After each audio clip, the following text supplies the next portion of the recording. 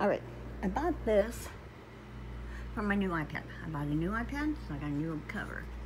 It's pretty cool.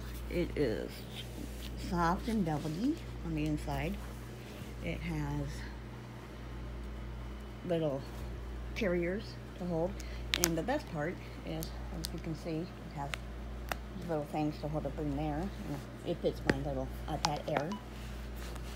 And unlike some of these other ones, which is like that, I can take them in and out, which is really hard to do with something like that.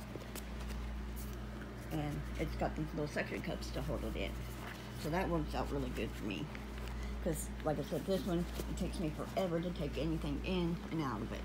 So I really like this one. Plus, it closes up, zips up.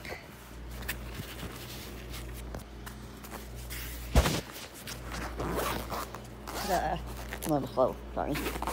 And little pockets in the front.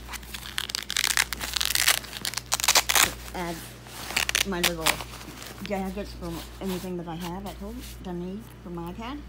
Or heck, even my uh, wallet. And then there. And I can just take it with me when I go to my doctor's appointments or wherever. Alright, thank you for your time. Bye.